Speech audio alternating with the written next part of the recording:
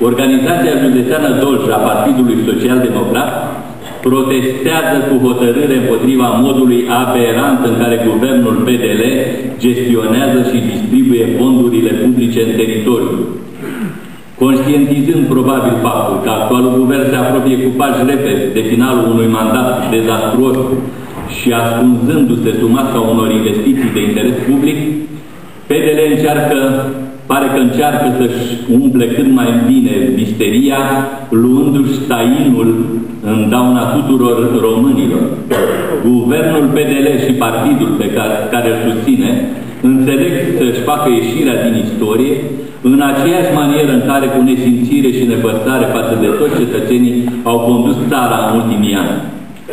Astfel, în condițiile în care funcționarii publici sunt dați afară, Medicii sunt alungați din țară, iar dascăle sunt umiliți de președintele Băsescu, Guvernul Boc înțelege să economisească, între ghilimele, banii munciți de români, construind săli de sport acolo unde se pare că este cea mai mare nevoie de ele, în mijlocul câmpului, gestionând fondurile conform nevoilor camarilei portocalii, neținând seama de nevoile urgente ale comunităților locale. Probabil că din discuțiile cu locuitorii statelor și comunelor a reieșit ca prioritate majoră nevoia construirii unor asemenea obiective în locul alimentării cu apă sau al canalizării, în locul reparațiilor la drumuri, în locul subvențiilor pentru agricultori și probabil în locul pensiilor.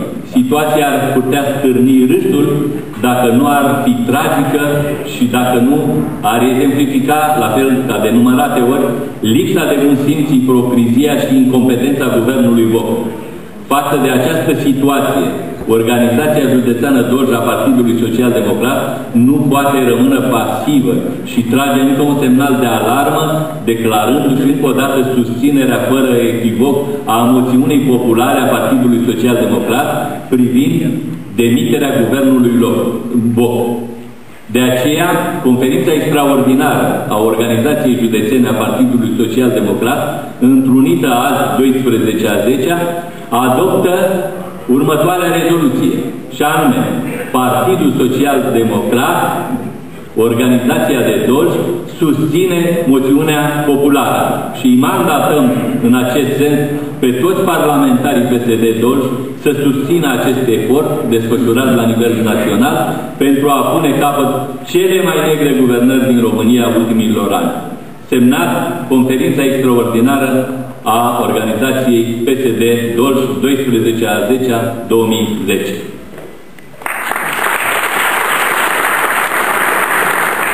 Cine e pentru? E cineva împotrivă? Vă mulțumim